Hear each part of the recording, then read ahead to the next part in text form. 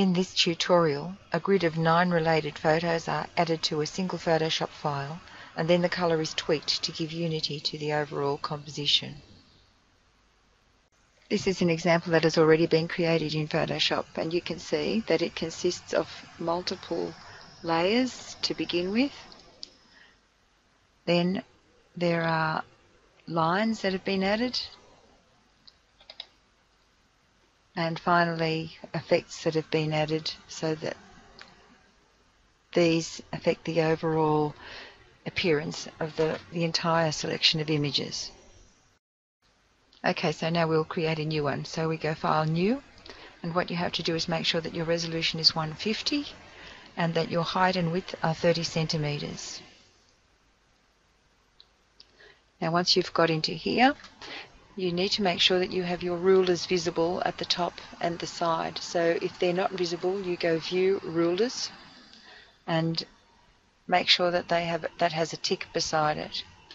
The next thing to do is to take your mouse, click it on the ruler and then drag downwards. And as you drag downwards, you will see that a grid line has been created and you stop it when you get to the 20 centimeter mark and then you get to the 10 centimeter mark and then you do it in the opposite direction at 10 centimeters and then at 20 centimeters. If your ruler is not in centimeters, you may go into preferences, so you go edit preferences and then find guides, grids, oops, units and rulers and just change this top rulers um, menu to centimeters. It's already in centimeters, so that's okay. Another way of getting your guides in place is just to click on View, New Guide, and this menu appears. We want them at 10 centimeter intervals, and we can decide whether they're vertical or horizontal. So I'll put in a horizontal one and then view new guide and I'll put in a vertical one and then you do the same for the other two. What we now want to do is import our file. So we go File, Open, and the images that I would like to put into this are very large this one 13, this one 9 and so on. They're too big to import into that file. So I'm going to create a new folder that I'm going to call grid size and I'm basically going to copy those files, Control C, and put them into this folder. Now, to make them distinguish from the other ones, I'm just going to change their title.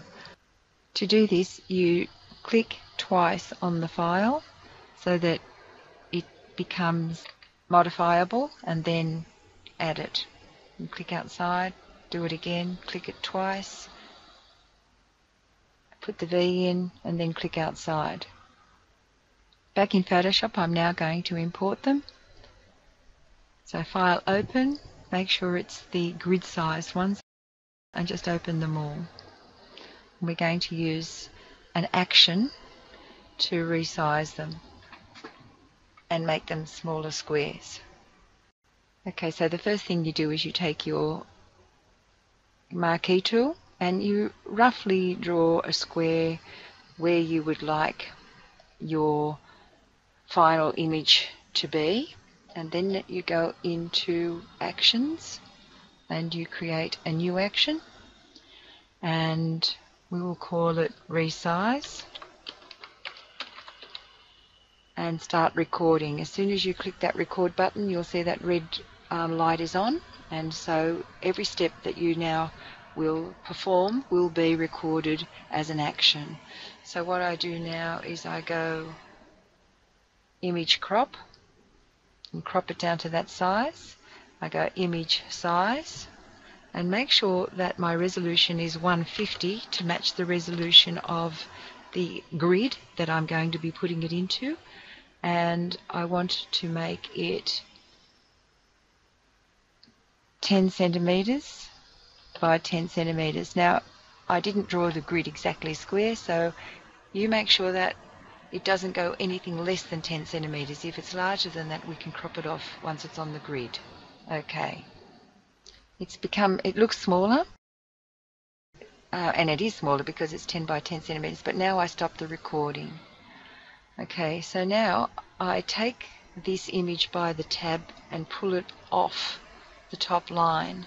Open up my grid and using the drag tool or the move tool or I can press the letter V I drag it onto the grid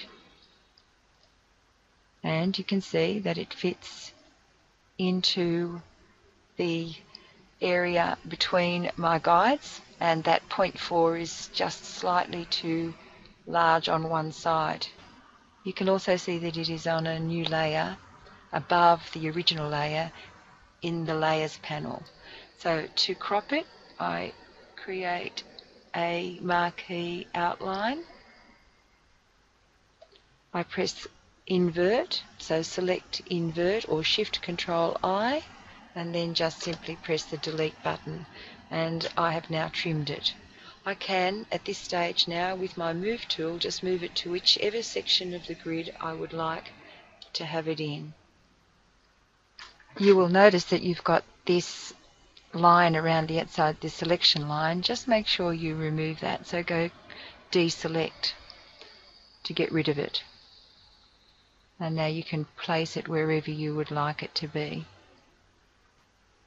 I'm going to repeat the process now with a different photo. So I take the marquee tool and I draw a, a rough square. You will notice that as you drag down your marquee, you can see a little dialog box that shows you the width and height of the square. So you can use that as a guide to help you get it as close to square as possible. and now I start my action make sure that you've got the, the very top layer of that action highlighted. So it starts at the beginning and press the forward key. And instantly it has create, done all of those steps. So the image size is now 150 and it's a 10 by 10.89 okay. So now I just pull the tab off the top. It resizes to this point here. I take my move tool, click on it, and drag it into the grid. And again, you can see that it's slightly too long. Close the original file. You can save the changes. And again, I take my marquee, drag it across, Shift Control I and backspace and don't forget to, to deselect. Now V, just move it again to a different location. These will all be changed as the final composition is created. As you can see, the final grid has now been created and all of the images have been um, arranged on individual layers. So my next step is to create the grid lines. So I start with this line tool and I draw a line down um, far too thick. If I click the move I can certainly drag it into a narrower size and then move it to where I would like it to be. Now I just duplicate that layer and move it to the next space and I can duplicate the layer again. I think I can rotate it. Control T and rotate it. and move it to where I want it to be and then duplicate the layer again enter duplicate layer okay and move it up with the, the move tool.